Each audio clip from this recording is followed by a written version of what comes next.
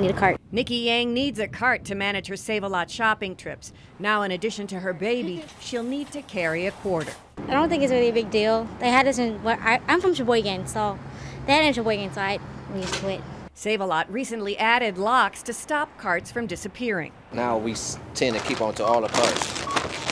Instead, you have to replace them or have somebody go get them. City officials want other grocers to follow suit. They say collecting shopping carts abandoned around town is tying up staff from the Department of Public Works. The city wants grocers to install anti theft devices like this. You put a quarter in the cart to use it, you get your quarter back when you return it. The Common Council is considering fines for retailers who don't install locks $250 for each abandoned cart recovered by city workers. Not everyone's on board. I don't even get a card because I it's quarter. I'm not gonna pay for no card. I'd rather just walk around in the store, use my hand. The city's considered shopping cart regulations before, but backed down after complaints from retailers. Tuesday, council members delayed a vote until they can get more feedback from the businesses that would face the fines.